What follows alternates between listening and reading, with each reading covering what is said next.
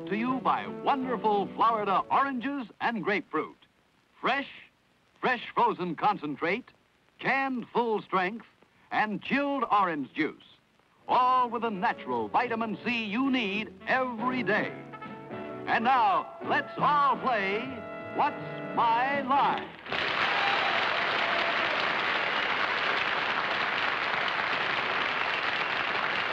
And now let's meet our award-winning panel of What's My Line.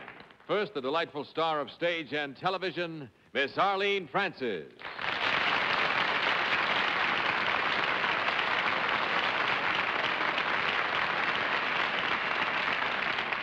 And tonight we are delighted to welcome back from the coast an old friend of ours who is here to start his new book, The Question Man Rolling, and to roll on a couple of his shows, Mr. Steve Allen.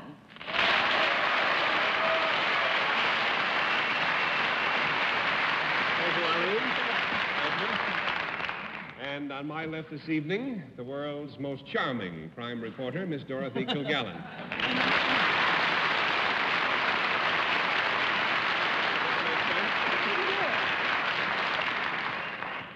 Thank you. And on my left, someone that we're always glad to have with us. He's not only a brilliant producer and a majestic actor, but a splendid game player and always helps us, Martin Gabel.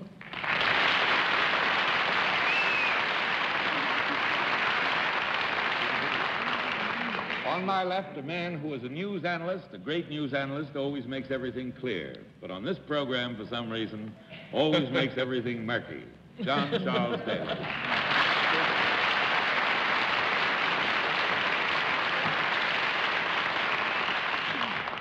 Well, that was very nice, Martin. I'm grateful. I hope I can make things very murky tonight.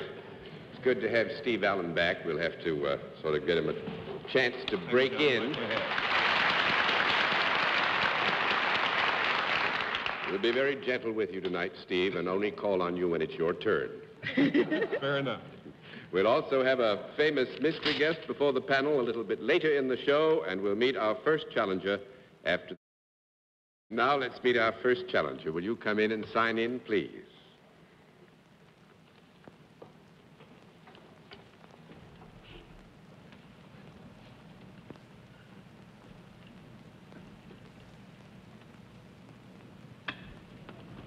Yes, yes. Fred E. Yes, sir. Fred E. Pfister, is that right? Sir. Yes.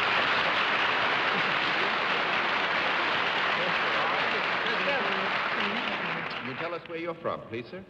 I'm from Saint-Imier, Switzerland. Saint-Imier, Switzerland. Yes, sir. Ah, may I present our panel, Mr. Pfister from Switzerland? Will you join me over here, please? From where in Switzerland? Saint-Imier, sir. Thank you. Where? Where, Martin?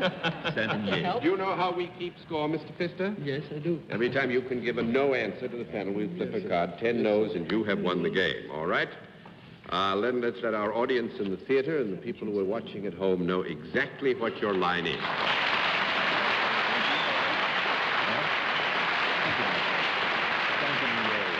All right, panel, we can tell you that Mr. Pfister is salaried, and let's begin the general questioning with, uh, we'll give Steve Allen a little rest. We'll begin with Dorothy Kilgallen. Thank you, Jeff. Uh, Mr. Pfister, I've enjoyed many trips to your wonderful country, and uh, since I associate it not only with beautiful scenery but wonderful hotels, may I rule out that you have anything to do with hotels? No. All right. What Mr. Pfister means, yes, you may rule out that he has anything to do with hotels. No, he does not. Oh, I'm. I thought, well, you know, I've really chosen the wrong way around. Uh, do you work for a profit-making organization? Yes. Is there a product involved in what you do? Yes. Uh, is it something I could hold in my hand? No. Uh, well, now, I would say this, that there is in the whole general category of, of the product involved the possibility that you might, in some instances, hold in your hand. But I think I should tell you at the same time, while there is a product connected, the service is paramount here. So that with Mr. Pfister's permission, we will let Miss Kilgallen continue. Yes. Uh, is the product that... Oh, no. Oh, no, you don't want me to go on with product? Well, you can, but it's the Oh, service. may I ask, may I ask this? Uh, is it a product that comes in a variety of forms or a number of products? Then I'll get off it, I really will. I didn't get it very well. Well, that, say, Is it a product that comes in a variety of forms or a number of products? To be answered yes or no, I will give you both a yes and no answer. All right. Uh, do you ever work out of doors, Mr. Pfister? Yes. Do you work primarily out of doors? Yes. Uh, do you have anything to do with the land? No. One down and nine to go, Mr. Gabel. Uh, am I right in assuming that you have, if I may, John, you, that Mr. Pfister has nothing to do with either cheeses, watches, or hotels? You gotta watch those cheesy hotels over there.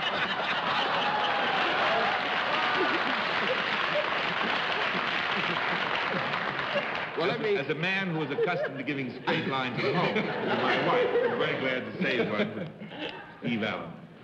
Well, let me say that the specific service, which is the principal responsibility and the vocation of Mr. Pfister, while it might involve an element of one of the, uh, the Those three professions. one of those three professions, uh, is not. Um, it is, it, is, it is not to say that they, the, one of the groups of products or the product itself is of paramount. Okay. Steve, why don't you go back? No, you didn't do it, did you? Mr. Pfister, do you uh, apply your service to people rather, or to a product rather than people? To people. That makes it a no answer. That's two down, eight to go, Miss Preston. I had a choice of two and made the wrong one. Uh, Mr. Pfister, are you in any way associated with the, uh, the sports in Switzerland? Yes. Do you have anything to do with the, with the skiing, skiing? Yes. Are you, uh, uh, are you a ski instructor? No, I am not. No. That's three down and seven to go, Mr. Allen. Are you a skier? You what? A skier. Oh, yes, sure. Of course. Good. Now what are you going to do? Well, Mr. Pfister, how's your sister? Do you have anything to do with the, uh, the manufacture of skis? No. That's four down and six to go, Miss Kilgallen.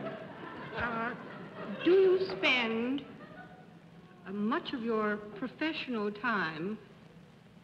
John, don't flip the card yet. Oh, I'm sorry. I'm just nervous.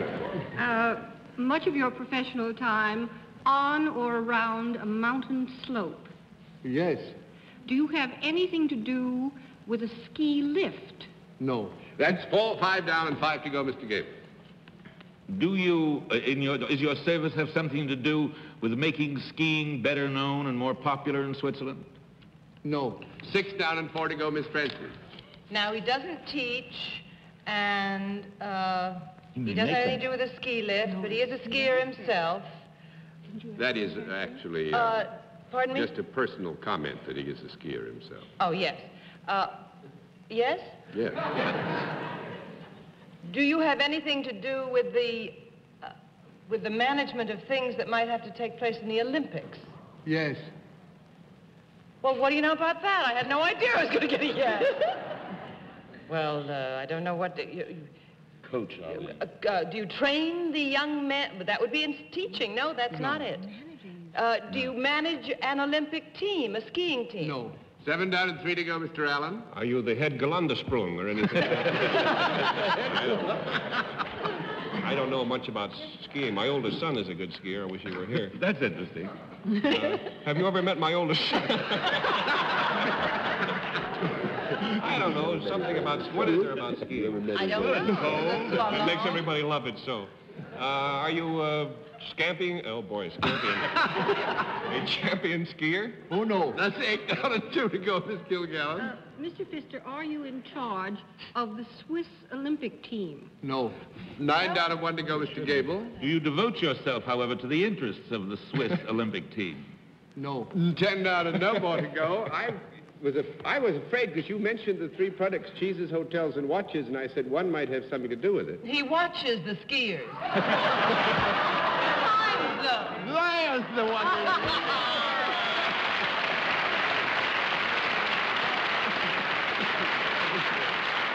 Actually, Mr. Pfister is the chief timer for the uh, the Winter Olympic Games out in Squaw Valley.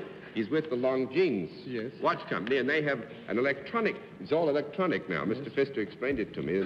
When they pass in the, in the slalom, for instance, as they go through a, one of the gates, you know, in the slalom, there's an electronic beam broken, and, and the timing device is automatic like that. Longines is not a Swiss watch, though. I think No, but it, w- it's a It's watch. loyal. But you have to wear long jeans when you go skiing. That's just- What, what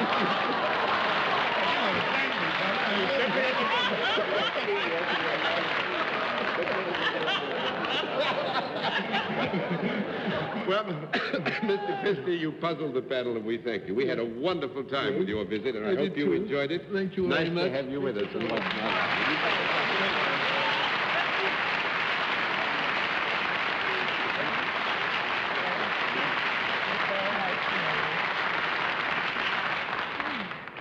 Well, let's see what we can do with the second challenge. Will you come in and sign in, please?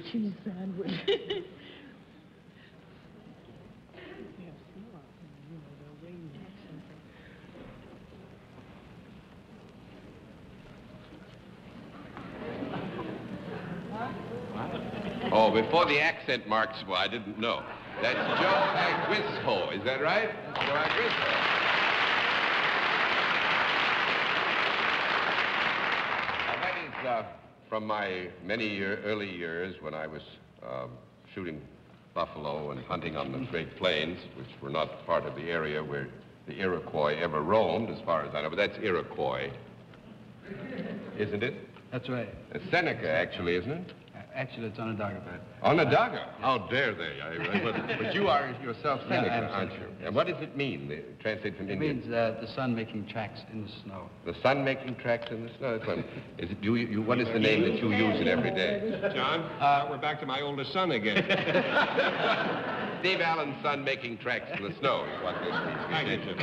What do you use as your everyday business name? Uh, Oren Lyons, Lyons? Lyons. Mr. Lyons, where are you from? Uh, New York City. New not, York? Not originally, but You're living here now? Living here now. Ah, fine. May I present the panel, Mr. Lyons? Would you join me over here, please? You know how we keep score? yes. All right, then we'll let the audience in the theater and the folks at home know exactly what your line is.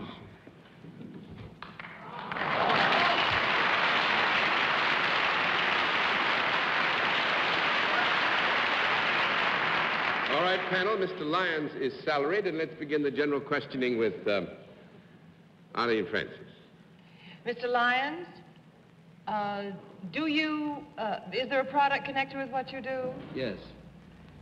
Is it a, uh, a, a product that I might use? Yes. Is it a uh, useful product? I would say so. If I would say had this, that I never want to be in the position of con- contradicting a guest of ours. I would think, put to the hard test, we would, we would not say that, uh, it, in practical terms, that it was necessarily useful. Uh-huh. Is it something that if I had it, you would see it? I mean, I wouldn't cover it up or anything like that. Well, that depends. Would it be anything that it might be on the person rather than lying around loose on the floor? No. No, one down and nine to go, Mr. Allen.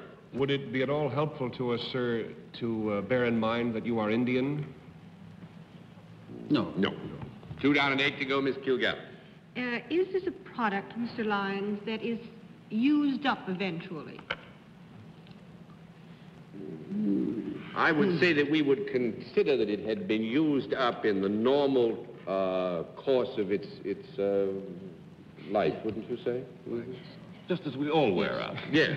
Sooner or later, I mean, it's, it's not like a, a piece of statuary that, unless something unforeseen happens, lasts. Well, I would say that it, its life expectancy would be uh, normally rather uh, limited, Right. wouldn't you think? Uh, is it something that you would not have to keep in the refrigerator?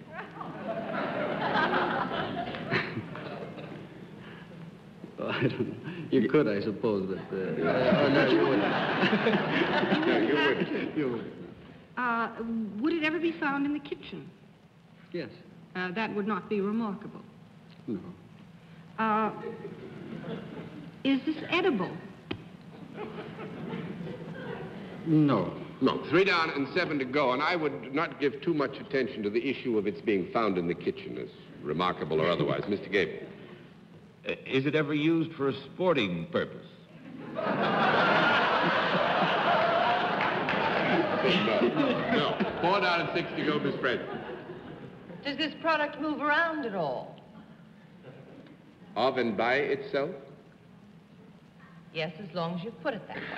No. Five down and five to go, Mr. Allen. Then this product has never been alive? Or...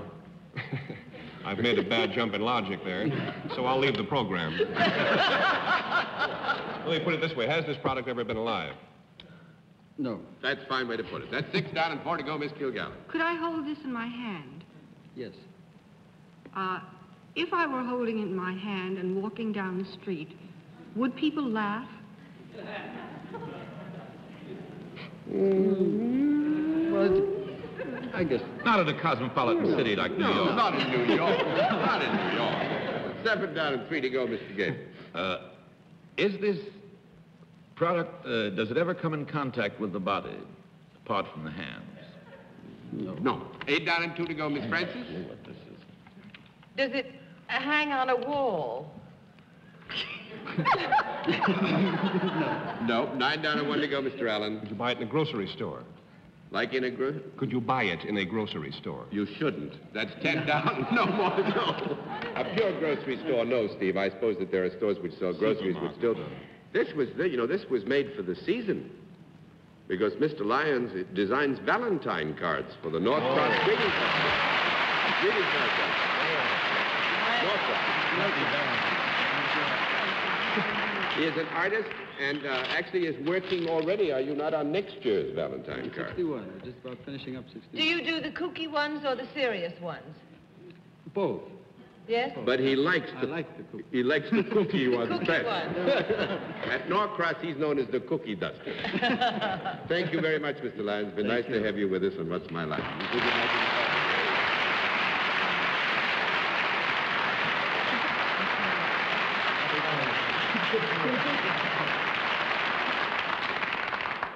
We'll meet tonight's mystery guest in just a moment, but first, here is a word. Now we come to the special feature of our program, the appearance of our mystery celebrity, for which my colleagues on the panel are asked to blindfold themselves, as you all know. Blindfolds in place, panel? Good. Will you come in, mystery challenger, and sign in, please?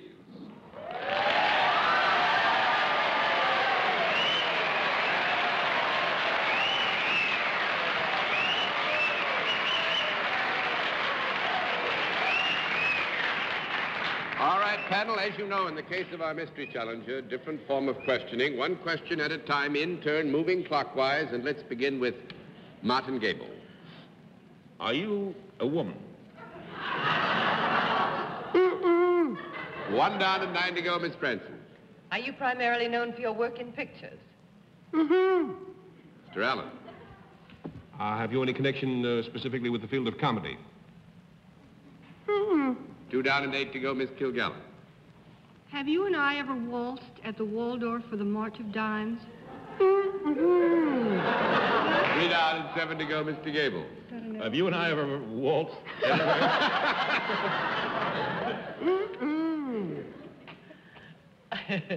Dorothy, that no to you was no, I haven't, but I'd like to, I think. That's What was it to and me, Six to go. the, uh, are you here to uh, publicize a picture that is about to open? Mr. Allen. Is that, what is that? That's yes.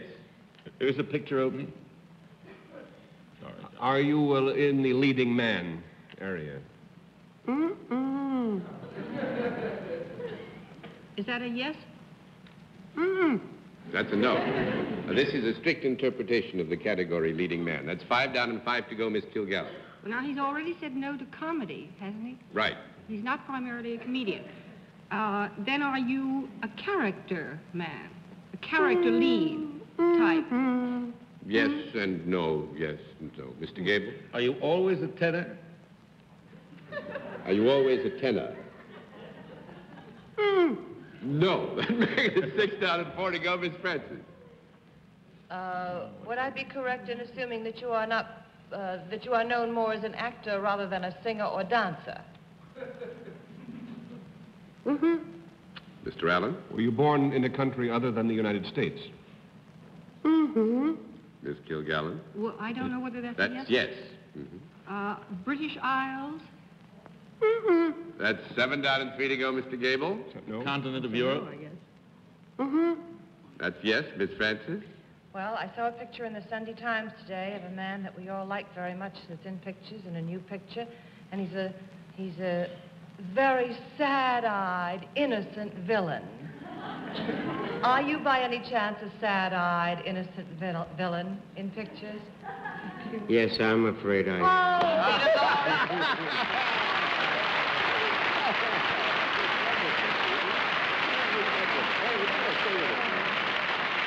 That wonderful. Well, Arlene, you did your homework. Arlene read in the paper about uh, Scent of Mystery. Scent of That's Mystery, correct. which is opening here in New York with... I'm uh, glad I got off that sound. I couldn't have done it Yeah. What are some of the best smells in the picture? Oh, well, we ought to explain. This is the, called smell-o-vision.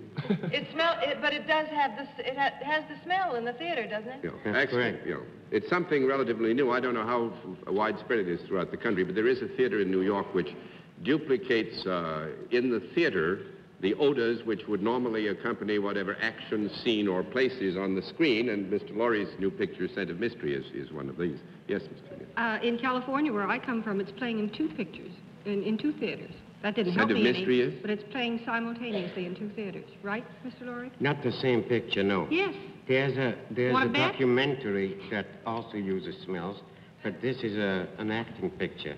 One is And it's, aroma vision and the other is smell vision. That's very right. The whole neighborhood has stereo smells over there now. You have a lot of more jokes jokes coming about that thing. Not from me, I mean. no, but it's a great fun show. I think you'll adore it. M- Mystery? And I've never said it before. I've never plugged a premiere, and uh, so you can guess I might like it. Was this mystery comedy then, Peter? It's a it's a takeoff on a mystery, yes. Well, now, just for the technical side of it, are the odors uh, added to the picture after you completed the picture and shot it, and they put this new element in as a as a Well, it's a complicated system of which I can tell you very little, but it's complicated. But uh, it's very surprising, and it's used tongue-in-cheek for hints and all sorts of things like that. I mean, they actually use odors in this to advance the plot in some cases. That's correct. yes. Really? I'm still working on how the wheel works, John, you know, and I, then I've got radio and television I've got to figure out. You'll work it out, Martin. That's an order. Well, I must say, Peter, uh, it's fun to have had you with us, and uh, we are all grateful for nearly destroying your vocal cords. He, he was determined you wouldn't wouldn't recognize his voice, and you didn't, by golly. And I didn't have to do much translating for you either. Thanks Thank you, very much John. for being our guest. Nice to have you